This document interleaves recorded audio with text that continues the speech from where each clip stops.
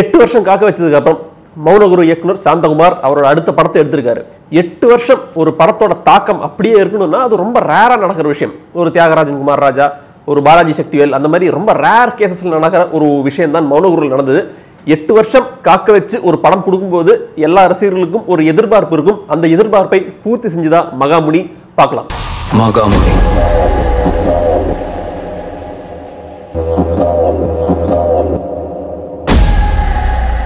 மகாமுனி. கதையை பத்தி பார்த்தோம்னா மகாமுனி ரெண்டு பேர். ஒரே மாதிரி இருக்கிற ரெண்டு பேர். இது வந்து சில பேருக்கு ஒரு ஸ்பாயிலராக தெரியலாம். ஆனால் ட்ரெய்லர் ஆடியோ லான்ச் இதெல்லாம் கவனிச்சவங்களுக்கு இது ஒரு ஸ்பாயிலராக தெரியாது. வெவ்வேறு வாழ்க்கைகள் வெவ்வேறு பிரச்சனைகள் டோட்டலி ஆப்போசிட் கேரக்டர்ஸ் ரெண்டு பேரும் தனித்தனியாக இருக்காங்க. ஆனால் ஏதோ ஒரு இடத்துல அவங்க வாழ்க்கைகள் சந்திக்குது. அந்த சந்திப்பில் அவங்களோட பிரச்சனைகள் இடம் மாறுது. அந்த தனித்தனி பிரச்சனைகளை அந்தந்த நபர்கள் எப்படி ஃபேஸ் பண்ணி முடிக்கிறாங்க அப்படின்றது தான் கதை. இது வந்து ஒன்றும் ஒரு புது கதையெல்லாம் இல்லை. எங்கள் வீட்டு பிள்ளை காலத்துலேருந்தே இந்த மாதிரி கதைகள் நம்ம பார்த்துட்டே தான் வரோம். சுமார் ஒரு அறு அறுபது வருஷமாக இந்த மாதிரி கதைகள் வந்துட்டே தான் இருக்குது ஆனால் இங்கே என்ன டிஃபரன்ஸ்னா ரெண்டு பேர் இடம் மாறினால் அவங்க வாழ்க்கைகள் எப்படி பாதிக்கப்படும் அப்படின்ற அந்த சர்ஃபேஸ் லெவல் ட்ரீட்மெண்ட்டை தாண்டி கொஞ்சம் டெப்த்தாக கொஞ்சம் ஃபிலாசபிக்கலாக இந்த படத்தை வந்து எக்ஸ்ப்ளோர் பண்ணியிருக்காங்க.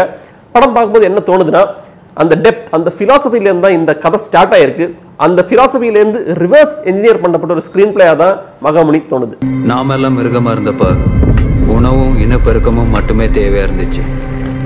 அதில் கொஞ்சம் மிருகங்க சிந்திக்க ஆரம்பிச்சிருச்சு. சாந்தகுமார் ஒரே ஒரு படத்துல ஐடென்டிட்டி கிரியேட் பண்ண ஒரு டேரக்டர் எப்படின்னா அவரோட கேரக்டர் எந்த கேரக்டர் வந்து சும்மா வைக்க மாட்டாரு எஸ்பெஷலி லீட் கேரக்டர் ஏதாவது பெக்யூலியாரிட்டி இருக்கும். இந்த படத்துல ரெண்டு கேரக்டர் ரெண்டு கேரக்டருக்குமே பெக்யூலியாரிட்டிஸ் இருக்கு.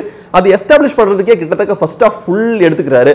ஃபர்ஸ்ட் ஆஃப் முழுக்க ஒரு எலாபரேட் கேரக்டர் கிராஃப் அப்படின்னே சொல்லலாம். ரெண்டு தனித்தனி பேர் தனித்தனி வாழ்க்கைகள் தனித்தனி பிரச்சனைகள் இப்படி பேரலாக தான் ஓடிக்கிட்டு இருக்கு.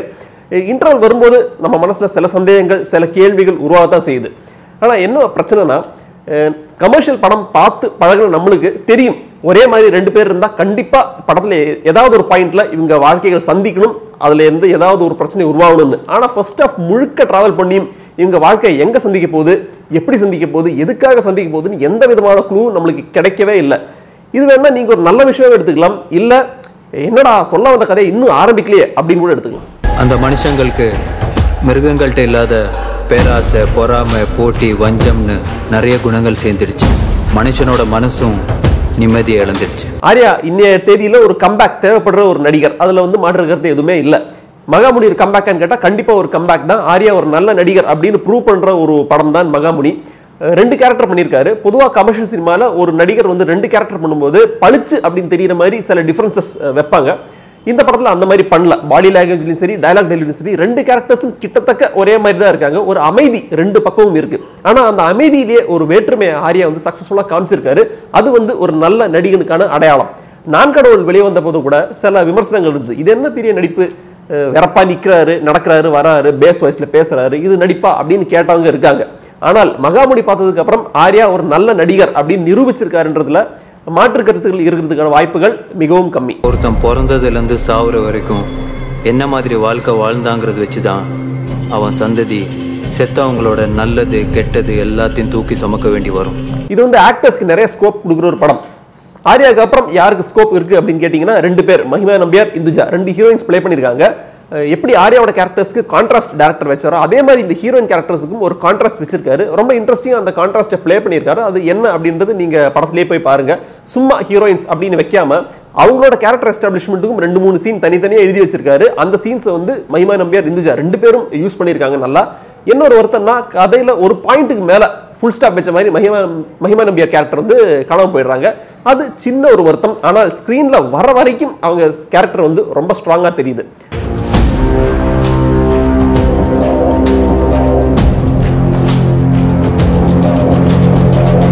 இளவரசி தீபா இவங்க ரெண்டு பேரும் வர ட்ராக் அதுல சொன்ன சில விஷயங்கள் ரொம்ப சுருக்கமா சொல்லியிருக்க வேண்டியதோ அப்படின்னு தோணுது. ஆனால் நிறுத்தி நிதானமாக காட்சிகளா காமிச்சிருக்காங்க. இது தனிப்பட்ட காட்சிகளாக பார்க்கும்போது ஓகே கொஞ்சம் நல்லா இருக்குது என்டர்டைன்மெண்ட் வேல்யூ இருக்குது அப்படின்னு தோணினாலும் ஓவராலாக படம் பார்த்து முடிஞ்ச போது இந்த காட்சிகள் எந்த விதத்தில் படத்தை கான்ட்ரிபியூட் பண்ணிச்சு அப்படின்னு கேட்டிங்கன்னா அதுக்கு தெளிவான ஒரு பதில் இல்லாதது ஒரு வருத்தம்.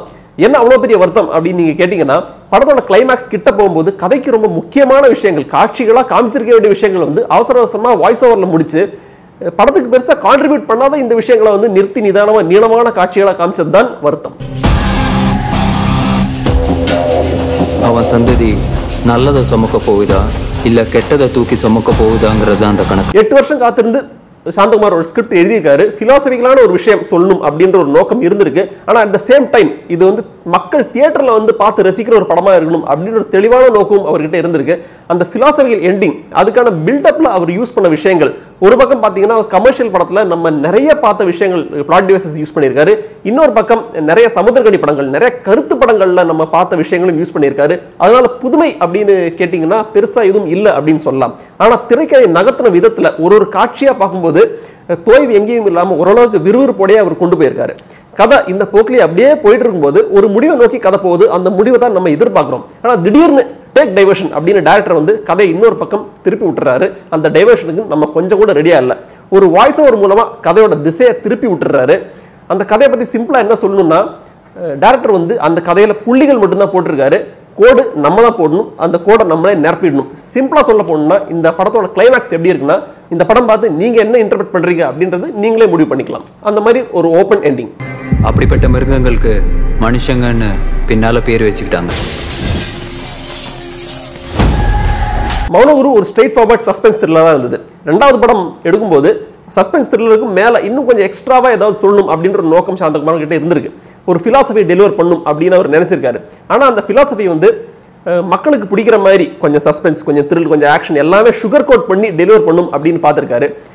ஆனால் அந்த ஃபிலாசபி எஃபெக்டிவாக டெலிவர் ஆகிறதுக்கு இந்த டோசேஜ் போதுமா அப்படின்றது ஒரு கேள்விக்குறி தான் எப்படி வந்து ஒரு ஒரு பேஷண்ட்டுக்கும் ஒரு ஒரு ஏஜ் குரூப்புக்கும் ஒரு ஒரு வெயிட்டுக்கும் ஒரு மருந்தோட டோசேஜ் கொஞ்சம் வேரி ஆகணுமோ அதே மாதிரி இந்த படத்தில் கொடுத்து கொடுத்துருக்கிற இந்த டோசேஜ் வந்து ஒரு ஒரு ஆடியன்ஸுக்கும் கொஞ்சம் வேற மாதிரி வேறு வேறு லெவலில் ரீச் ஆகலாம் அது ஒரு ஒரு இண்டிவிஜுவலோடைய திங்கிங்கை பொறுத்து இருக்கு.